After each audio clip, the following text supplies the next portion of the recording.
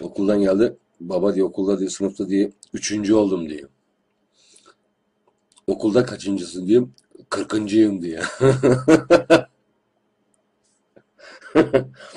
Oğlum niye birinci olmadın diyeyim. Baba diyor başka çocuklar da var okulda diyor. Cevabı bak ya. Ondanmış.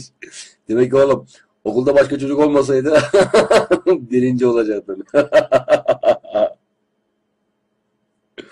Cevaba bak ya. Sen de kamera ne yapıyorsun ya? Oynayıp duruyorsun arkadaş ya?